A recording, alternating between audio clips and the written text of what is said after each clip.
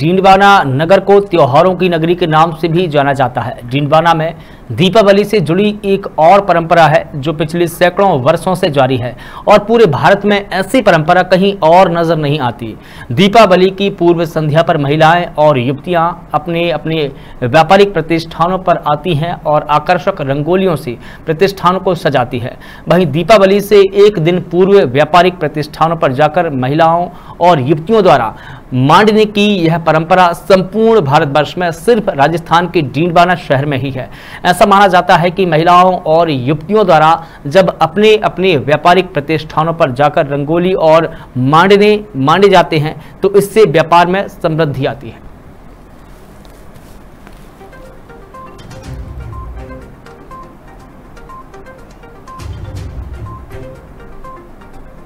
परंपरा बहुत पुरानी है और ये परंपरा केवल डीडवाना में प्रचलित है।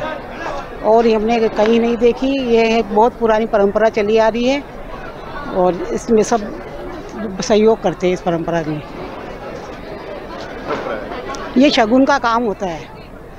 इससे महालक्ष्मी प्रसन्न होती है।